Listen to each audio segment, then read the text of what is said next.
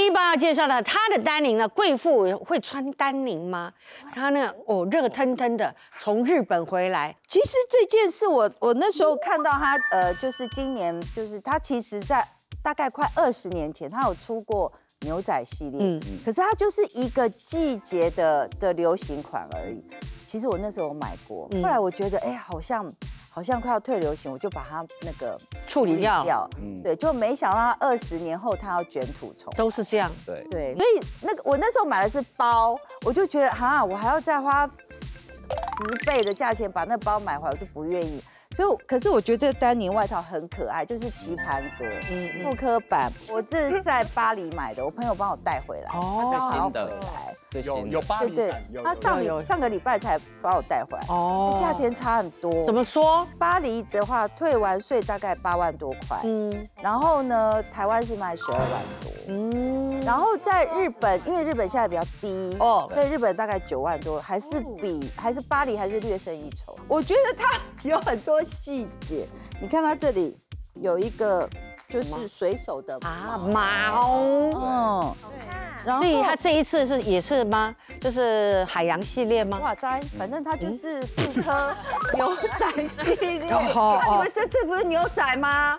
火速空运不是，因为这个元素，你他们每一年都有一个它在秋冬的时候，呃，有融合，就是一个海岛，对。对，所以它有一些毛的元素在上面。哦海对对对洋啊秋，冬的时候，有有的时候会天空啊，所以它的哎再回来细节，对细节，嘿，这里皮革、拼哦。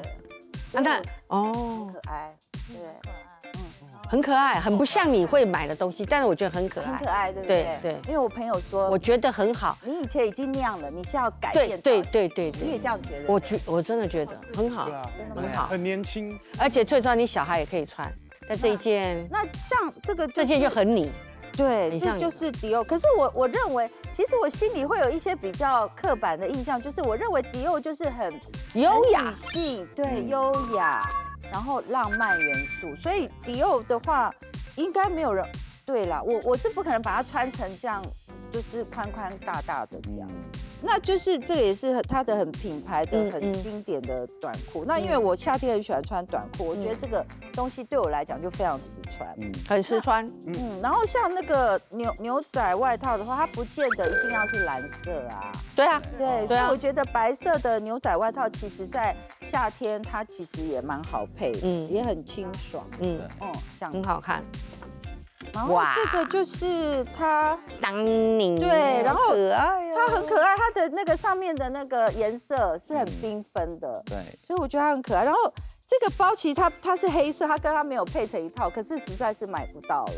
然后这个超难买的。你说哪一这个这个小包哦，对。包哦，很难买，因为它几乎你是看不到，然后它其实可以拿来背，这个很难买。很难买。然后是我有三个还四个哎，我就是不知道这要干嘛，因为我家我跟你讲，这没有钥匙这是腰腰力腰包，没错，我知道啊，因为我有这三个腰也要够细啊，你看，对啊，个，我跟你讲，我觉得便便学坏了，我觉得他不错，我也是推也荐。栽培一下，真的。真的真的，变健好还打给我，哎、兄弟，那个女大女大帮我撑一下，这样子，对对对，然后就噗，我说你干嘛？啊？他在潜水，哦。对对对对对，有他还到到今天上来了吗？呃，不知道，他说大概待个三四天，对不对？我会再等他关切他，七七四九天啊，太久了，没气了。要很多气哦瓶，，对，可以当腰链。对对对，其实小包你也不要觉得它很废，它其实有很没有没有，它不废哦。还，有功用。嗯。对，很有，而且我我是把它戴在这个帽子上，啊，真的哦。嗯，我是这样？就是这样，然后把它弄到后面去，所以嘞，然后弄到头发里面，这样。啊天哪，好时尚哦！挂在帽檐上面哦，拼接，这可以怎样嘞？